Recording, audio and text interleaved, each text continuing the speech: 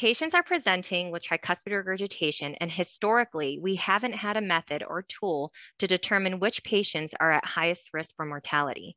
Tricuspid regurgitation oftentimes presents in patients with multimorbidities, so it can be quite difficult to tease out if symptoms are coming from the tricuspid regurgitation itself versus from their COPD, heart failure, atrial fibrillation, etc.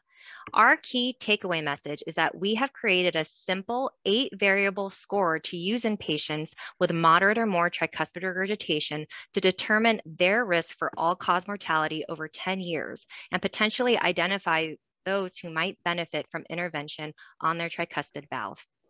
My name is Kyla Lara Breitinger, and I'm joined by my colleague, Dr. Sorin Pislaru.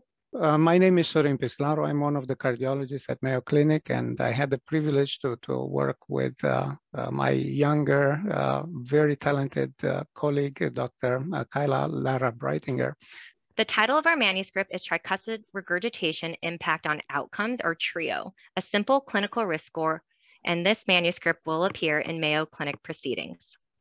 Our study looked at a large cohort of patients, over 13,000 with undifferentiated moderate or more tricuspid regurgitation and found similar increasing mortality with increasing severity of tricuspid regurgitation. We then used multivariate analysis to look at factors for all-cause mortality and found the following eight factors to have this most significant association with mortality. That was age 70 or greater, male sex, creatinine 2 or greater, congestive heart failure, chronic lung disease, an AST level of 40 or greater, a heart rate of 90 or higher, and severe tricuspid regurgitation. We then assigned one or two points depending on hazard ratio and added these numbers to compute the TRIO score. The score was associated with all-cause mortality, and we were able to separate patients into three risk categories. The score cutoff for low risk was zero to three, intermediate risk four to six, and high risk of seven or higher. A high risk score was associated with a 10-year probability of death of 79%, followed by intermediate risk of 63% death and low risk are 40% for 10 year all cause mortality. We were able to replicate these findings in two distinct, ge geographically distinct and independent cohorts across the country the important part here is that we, we had the, the benefit of being able to screen thousands of patients from all the country. Uh, we ended up having nearly 20,000 patients in the two cohorts, and that gives us a perspective that is very difficult to, to uh, replicate in a smaller study. My problem when, when I go to work is that I'm facing chaos theory every single time. Uh, if you look at the patient and you look in their eyes and you just find out that they have tricuspid regurgitation, the question is, what does one individual do? Because we can look at this graph showing the, the age at diagnosis of TR on the x-axis and the time that it takes for a patient to die on the y-axis. They can be anywhere and everywhere.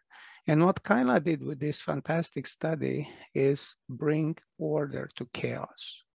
So how does that impact the particular patient? Well, it does matter quite a bit because based on these eight very simple clinical variables that, that were identified in the study, we are now able to predict what one individual would do rather than feeling lost in the office. And, and then it's very important to note that tricuspid regurgitation doesn't do equal damage to all patients. We know it's in general bad, but patients who have significant other comorbidities seems to be influenced less or at all by the degree of tricuspid regurgitation, whereas the ones who have the least amount of other comorbidities seem to have the, the greater impact. And that should tell us that perhaps this is the cohort that we should actually focus on in terms of intervening. And the other cohorts, it doesn't mean we do not treat them, but maybe we should focus more on symptom relief rather than intervention on the tricuspid valve per se. So what is the next uh, step in this line of research. First and foremost, we need to validate the score. We, we think we are correct in our assessment based on so many patients, but we must prove this going forward, and this is going to be important for us. We also want to share the knowledge with as many people as possible. We want to have our colleagues in internal medicine, in family practice, the primary care physician adopt this tool as an easy method to gauge the risk of their individual patients. And for that, we are going to incorporate it into our electronic medical record. But also, once uh, this is uh, officially published, we will create a dedicated web page where everybody would be able to access it and do a simple calculation. Thank you, Dr. Pislaru, for your wonderful commentary. And again, we invite you to read our manuscript on our TRIO score, which again is a very simple eight clinical variable score to help identify risk in patients with tricuspid regurgitation. Thank you so much and feel free to reach out to any of our co-authors. And, and just to point out, this is the work of many, many people. Many of them are co-authors on this study but many are not. And we are so grateful that uh, we are able to benefit from the work of so many people who are involved in creating the data sets and uh, helping us understand and treat our patients better.